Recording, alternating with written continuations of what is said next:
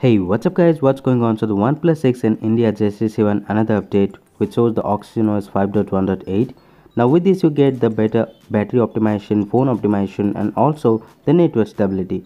Now the previous update with the Oxygen OS 5.1.6 there are a couple of bugs but you get the portrait mode for the front facing selfie camera and also you get better sound effect and also the earphone mode for the bullet wireless earphones.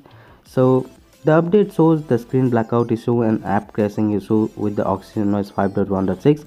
So now just Oxygen OS 5.1.8 just come to the OnePlus 6 and I think this will be fix all of the bugs and if I find any of the issue I'll be putting down in the comment section. So before update to the 5.1.8 check out the comment section. So guys after the update I find the device working perfectly there is no issue with the device but if you have any other questions just put it down in the comment section. I'll be replying all of your comments.